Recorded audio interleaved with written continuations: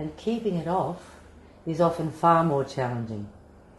And what I've noticed over more than 35 years of helping people with their weight problems is that people tend to become obsessed with the scales. And that is often the demise of them because they will give up prematurely if they see that they're not losing any weight. Now, what we really need to do is look much deeper than our weight and the scales and look at the causes that keep us overweight. You know, when you look at some of these causes, they're very, very hidden. It's a bit like an iceberg. You know, people just see the tip of the iceberg. Oh, I'm overweight. You know, the scales are so high. I look terrible. And they think that's the problem. But there's a lot of hidden causes beneath the surface. It's like an iceberg. And the most common hidden cause is that of syndrome X, which I'm going to explain later on, which is really a chemical imbalance that makes your body store fat. There's also your thyroid gland. If that's sluggish or even slightly out of balance, that will make it much harder for you to lose weight. Imbalances in your sex hormones, yes, that too can cause a lot of problems with your metabolism. Sluggish lymphatic function, adrenal fatigue, a negative self belief system, food intolerances, low levels of fitness, imbalances in the hunger hormones. And we could go on. So, no wonder diets don't work. Indeed, 95% of people who lose weight on a diet will put it back on. So, over many years, I became aware of all these different causes of weight excess. But some of them really were quite subtle. Quite subtle, and things you would only find if you really went looking for it. And to go looking for it, you had to understand really on a deeper level about metabolism. So that's why I developed the Weight Loss Detective program. Because I thought, yeah, I have become a detective. You know, it, uh, you you really have to be like Sherlock Holmes and go looking deep to find these causes. So my weight loss detective program looks for all the missing parts of the jigsaw puzzle. And believe me, if there's just one or two parts missing, that makes all the difference. You don't have the overall picture. So you really won't know where to concentrate. You won't have a strategy. So this is why I love the program. It makes it much easier for people to lose weight and to keep the weight off. You know, there's no magic pill for losing weight. It would be great if there was, but there is no magic pill. Uh, we really need to look at the interaction of all the factors that can slow down our metabolism, such as getting older, emotional stress, imbalances in brain chemistry, incorrect food choices. It goes on and on. And this is what we are all about is finding every possible cause for you. You know, over the years, I've seen countless women who have matched their intake of food or calories rigorously with the amount of calories expended in exercise and body maintenance. And these women usually become very frustrated. I see a lot of them, and they're often very depressed and confused because they think that they have an inability to lose weight. They're doing something wrong and they feel like a failure. So I say to them, look, people often call me the last resort. Don't feel like a failure. Don't feel hopeless. My Weight Loss Detective program will find several causes that are sabotaging your best efforts to lose weight. It really, really is that important. Otherwise, you're not going to be successful in the long term.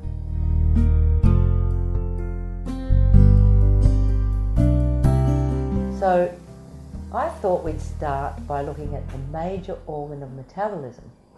And to help us get understanding of that, I have a guest today, naturopath Margaret Jasinska, and she is an expert in syndrome X, fatty liver, metabolism, and all those factors that interact on our weight. So it's great to have you here today, Margaret. Thanks, Dr. Cabot. It's great to chat with you. Yes. And um, it, look, it really is a relief to have someone like Margaret to be able to help us uh, because the amount of research you do is stunning. You know, you you've dedicated your whole life to reading about nutritional medicine and researching it. And, you know, it's just wonderful to have you as a resource. Thank you. There's such interesting topics, and it's really great to have more knowledge because that way we can help more people. Yes, that's right. You can do the homework. well, I do a lot of research too, but you know, um, I just really love the things that Margaret comes up with. So, if we can talk about the liver, um, you know, I, I have been researching the liver for a long, long time. You know, the liver is the major organ of fat metabolism. It pumps fat out of your body through the bile. It maintains your blood sugar levels. And yet we see today that fatty liver has become an epidemic. Yes. And as, why do you think that is? Uh, the average diet is really quite high in carbohydrate, and the average diet has quite a bit of vegetable oil, such as margarine and, and, processed vegetable oils. And it's, it's quite normal to eat a lot of carbohydrate in today's society, such as um, breakfast cereals, bread, pasta, pastries, potatoes, sugar. A lot of people can cope with that when they're young. They can maintain a slim body weight, yes. but usually those carbohydrates catch up with people when they get older. And as we all get older, we start to become more insulin resistant. So we start to gain some weight around the middle of our body, around the tummy, around the torso, and fat can start accumulating in the liver. Yes. Some people are genetically more prone to that than others um, because of their body type. Some people are more prone to that, but fatty liver is certainly common these days. Yes, and you know something interesting too um, about fatty liver is it's not able to get rid of toxins from the body as efficiently uh, because you know the fat's built up and it's damaged the fat cells. So, what role would poor detoxification in the liver have in increasing our weight and making it harder for us to lose weight? Well, most of the toxins in our body are fat soluble, and so they tend to accumulate in our body fat. Yes. And all the toxins in our body go to our liver where they should be changed into another form that where they can then be excreted. But if fat is accumulating in your liver, well, that's a bit of a magnet for toxins. They're drawn there to the liver, and mm. that compromises the ability of the liver to detoxify your bloodstream and also compromises its ability to burn fat. Yes. And once toxins accumulate in your body, well, they, they promote fatigue and mm. fluid retention, um, yes. foggy head, aches and pains, generally making it much harder to eat well, exercise. It just a compromised liver function really reduces the quality of your life. Yes, and you know, I, people often complain, you know, of cellulite, so they'll have a lot of cellulite in their thighs and you know a lot of puffy fat on their body that just won't budge, and that fat holds toxins, doesn't it? Absolutely. Yeah. Yes. And do you think a good detox of the liver and the fat tissue can help with weight loss? Yes, absolutely. We see it all the time. Yes. And with cellulite, there's often fluid retention, there's a weakness in the connective tissue as well, um, there's often a hormone imbalance. Women who um, are estrogen dominant, have too much estrogen relative to progesterone, are more likely to get cellulite. The gynoid body type that you write about yes. is more likely to get cellulite. Yes, and mm. you know you can reverse cellulite. I'm sure, you need exercise. That's important, mm. very important. Um, but I think a good detox helps, and uh, I know uh, you've um, helped me to write a book on um, detoxing. It's called The Ultimate Detox, and it's a two-week detox, so it's not too difficult. it's not like it's eight weeks or twelve weeks; it's only two weeks, but it works. It's on a really deep level because it's targeting the lymphatic system, the liver, and the gut, and what would be the essence of that in a nutshell, Margaret, your ultimate detox? Well, it's largely about getting rid of substances that uh, promote toxicity in your body. So the diet excludes sugar and dairy products and gluten, as well as things like caffeine and alcohol. So it's a really good deep cleanse. It's Mm. quite a restrictive diet, but it doesn't last too long, so it's manageable for the average person. You can generally stay motivated for two weeks. Yeah. And it's, it's a great kickstart as well. So after people have done the detox and they've felt a lot better, they tend to become a lot more aware of their diet and the motivation stays with them to eat well and look after themselves. Yes, I agree. I think the detoxing is great. And you know, you see a lot of people who are not just overweight, but they're very tired, they're bloated, they're very toxic, and they have a lot of inflammation in the bowel. So, you know, all our recipes are good for the liver. Um, they're cleansing. Uh, they're also good for the intestines. So, you know, you can go on a, a, a effective weight loss diet, but it may be uh, ineffective as a detox. It may not help the liver. So, our eating programs take into account detoxing and cleansing the liver, and that's going to help to get rid of cellulite. So I thought maybe we'd just talk about the metabolism of fat for a little while because you know that's what people want to lose. They don't want to lose their lean muscle. Uh, they want to lose fat, particularly unsightly, puffy fat, cellulite, or deposits of fat where you don't want them. And what are those fatty tissues made of? You know, we call it adipose tissue, but what's actually made of? Triglycerides, basically. So the, the main storage form of fat in your body is triglycerides. Yes. And you know, a lot of people think, well, to get fatty tissue, namely triglycerides, I have to eat a lot of fat. But that's a fallacy, isn't it? That's right, not at hmm. all. You can be on a, a fat free diet but still gain a lot of weight. Our liver is very good at manufacturing fat, Yes. particularly from sugar and starches. Hmm. So, and when you think of farming practices, we can fatten up cattle by feeding them grains, and we can do the same to human beings. That's right. So, you know, your liver is very good at making fat. It's a process called lipogenesis. And so it makes triglyceride out of fatty acids and glycerol. And most of it will come from carbohydrate. So that's why I'm not a lover of, um, you know, the, the low fat diet foods because they're generally too high in carbohydrate. Absolutely, and sugar. And, and so research has shown that the more carbohydrate you eat, the more triglycerides your liver will produce. And the and, unless you're an athlete, the average person just doesn't need that amount of carbohydrate in their diet. So it's going to get stored. Yes, as fat. And cellulite, and as a fatty liver. So you'll end up with a liver that's very greasy and can be a bit enlarged and swollen with fat. And Margaret, what kind of fat is in the liver? Is it going to cause any problems, that fat? Is it toxic, that fat? Yes, it is because the the kind of fat that gets stored in the liver and also around the abdominal organs is a lot more harmful than the type of fat that you might get on your thighs or on your triceps. Yes. The, the fat that's in the liver and around the abdominal organs, around the internal organs, See, fat cells don't just sit there and rest. They don't just sit there and do nothing. They continually secrete a lot of substances. We, we refer to fat tissue as an endocrine organ, as a hormone producing organ. Yes. If you have a lot of fat cells, they're going to be making a lot of hormones. And it's all the wrong hormones and inflammatory chemicals. Yes. So those, those chemicals create inflammation throughout your body. So it, it's really like a lot of wear and tear and free radical damage in your body. Yes. And I remember you said to me something one day that really stuck on my mind, and that is I've just read this fascinating article. Margaret says that, that three times a day.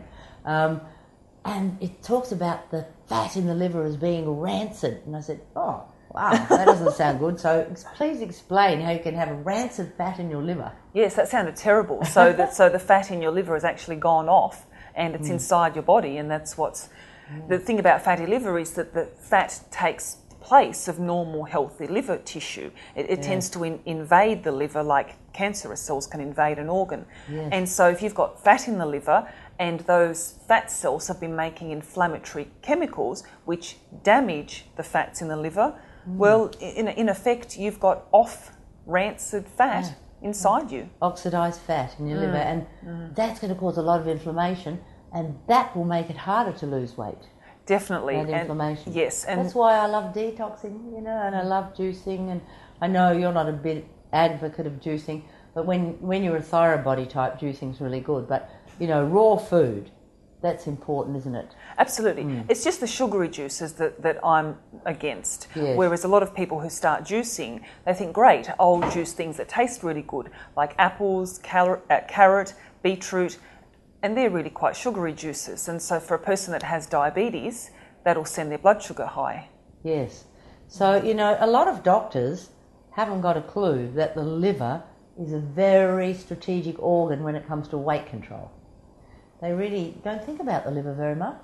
I often say it's the forgotten organ, and yet we really need to think about it more because if we get our liver working properly, it's going to help so much with our weight control and with our longevity.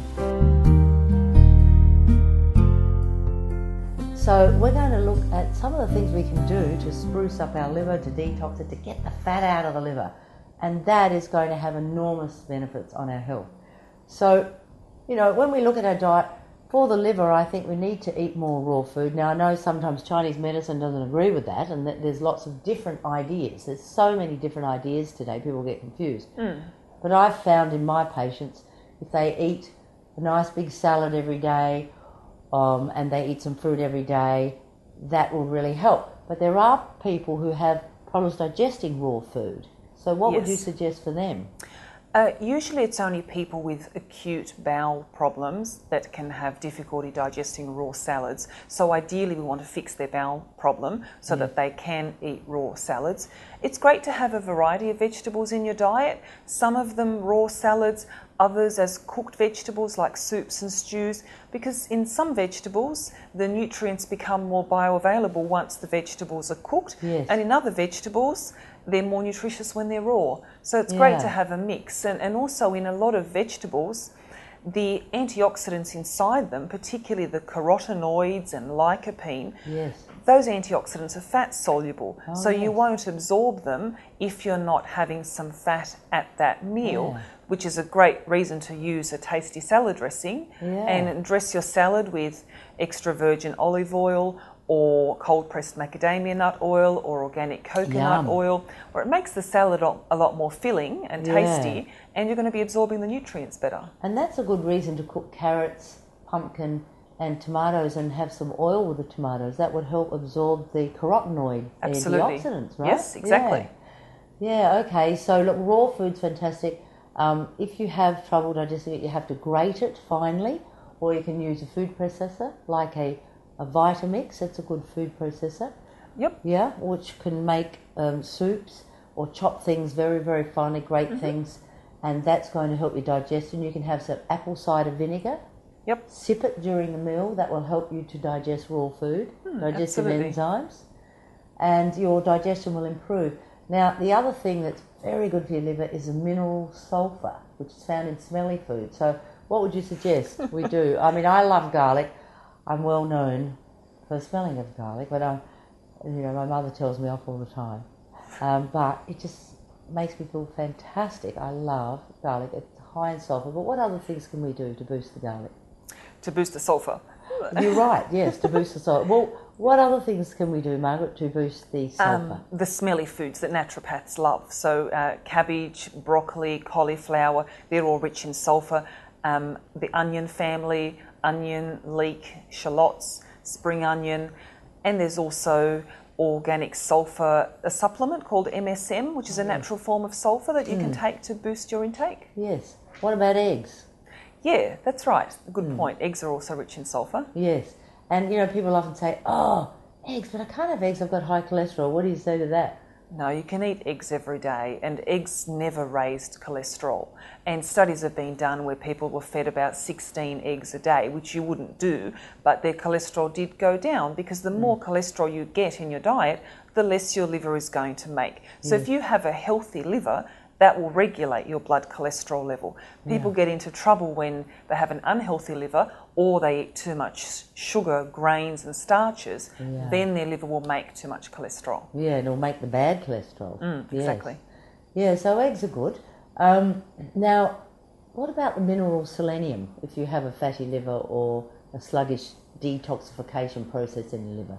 Selenium's fantastic because it's it's highly anti-inflammatory. So it's a mm. brilliant natural anti-inflammatory. And anyone who's got a fatty liver has a lot of inflammation in their body mm. because as we mentioned, those the fat cells within their liver are producing inflammatory chemicals. Yes. And selenium helps your liver to make glutathione, which mm. is a really powerful antioxidant in your body.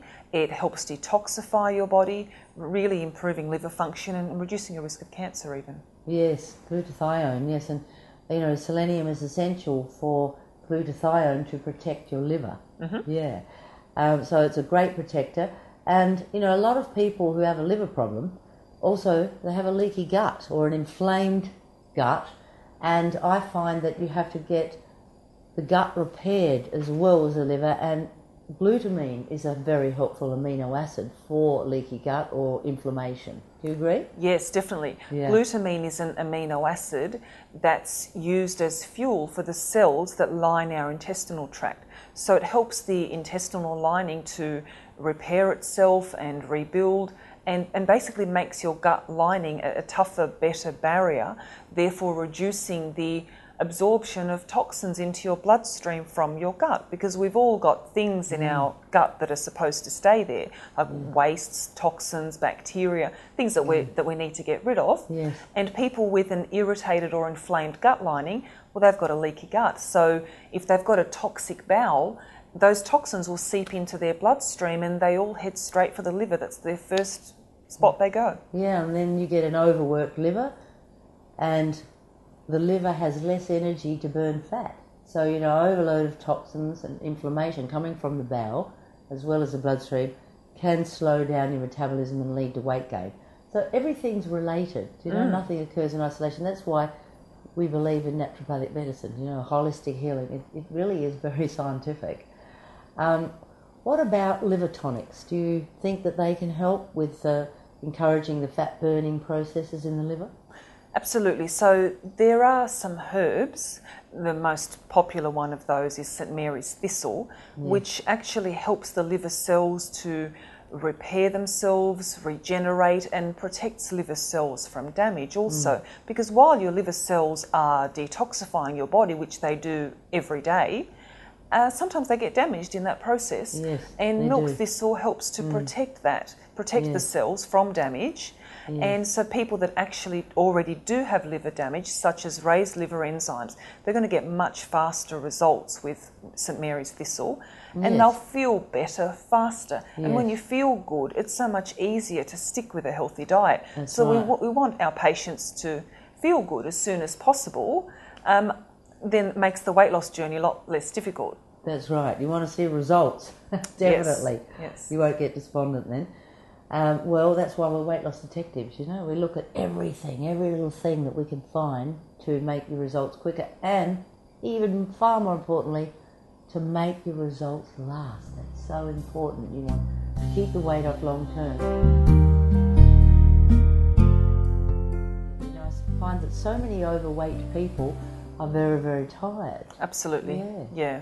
Yeah. And I think that's because, you know, the, the healthy liver is the body's metabolic furnace. It generates the energy. Mm. And so if you're liverish or fatty yellow liver, overloaded toxic liver, you're not generating that energy you need. That's right. And life is busy and life is exhausting often for the average person because of the amount of things they've got to do each day. They have busy lives. Um, Yes. If they're tired, it just makes eating well seem too overwhelming for a lot of people. That's right. It's just easier to drive through the drive through and pick up a takeaway, isn't it? yeah. If you don't have the energy. Yes. Yes. Um, but, you know, raw food's easy to prepare and, and vegetable soups, I mean, they're very healthy, aren't they? Yeah, exactly. What's And your recipe for a good vegetable soup, Margaret? several for of our liver? books. there- There's a good uh, soup recipe in the Ultimate Detox book, Yes. but just about all of our books, particularly the, the the diabetes book, the Syndrome X book, the fatty liver book, we've put a lot of easy, user-friendly recipes in Yes, there We have. just to get you started. So you've got a good idea of, of the And kinds they of things taste really nice. You know, there's a lot of natural herbs and spices that are Yeah. very good for the liver.